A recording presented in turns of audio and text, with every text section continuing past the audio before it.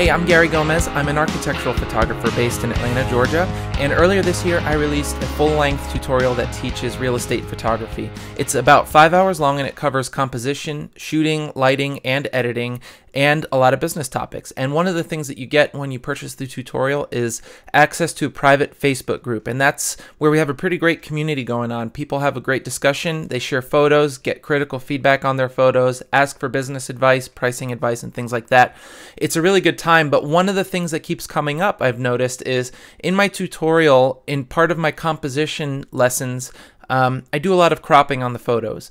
By default, most cameras have a 3x2 aspect ratio and I don't always adhere to the 3x2 aspect ratio. I will crop photos to suit each image, whatever I think makes a better, more compelling composition, and it's not always 3x2. And very often I actually turn the camera on its side and shoot in portrait orientation.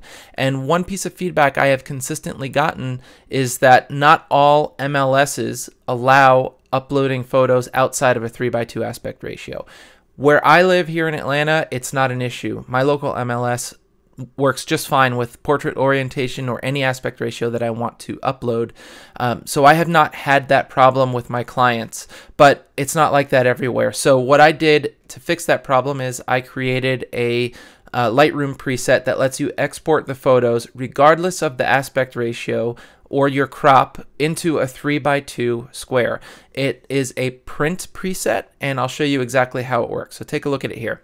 All right, so we're in the print module, and if I apply this preset, it's called 3 by 2 aspect ratio for web, and uh, we apply it automatically to this image, you can see this is already a 3 by 2 aspect ratio. So nothing is really being applied as a result of this preset. But as we scroll through, you'll notice that I cropped this image just a little bit, a little bit off the side. And what this preset is doing is it's adding these white borders to the edges and we'll just scroll through these photos. Same story here with this image, a slight crop on it, making a, a little bit more square. And now we're at a vertical composition or a portrait orientation. I chose white for the background because most of the websites where these photos will be uploaded to have a white background.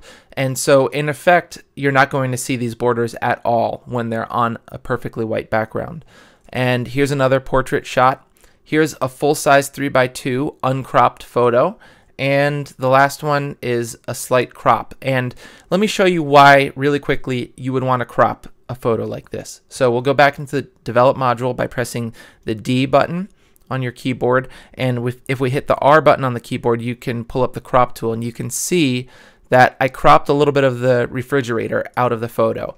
I think this is a better, more compelling composition because we're using rule of thirds here and by bringing this left vertical third closer to this pendant. This intersecting point is a point of interest in the photo. And this this is just composition 101 here. I cover stuff like this in just about every photo that we cover in my tutorial.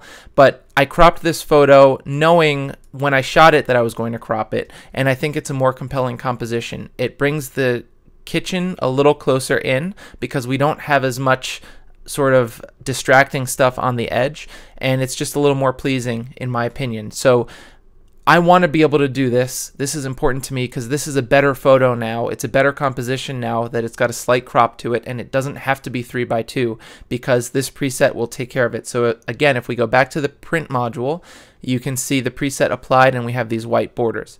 Now, really quickly, I'll just show you what this preset is. If we go to the right hand panel here, you can see two main things. It's printing to a JPEG file. The, the print module is a little misleading in Lightroom because you can export to a JPEG file. So I have that here. And then I set the custom file dimensions to 30 inches by 20 inches, inches with a resolution of 72 pixels per inch. This is going to give you roughly 2000 pixels on the long edge for this JPEG file, which is more than enough for most web use. And you're not going to need these white borders for printing. So just the regular print preset that comes with my tutorial will do just fine. Um, but you can make any adjustments you want to this. If you don't like this file size, just pick any dimensions here that work for you as long as it's a 3 by 2 aspect ratio.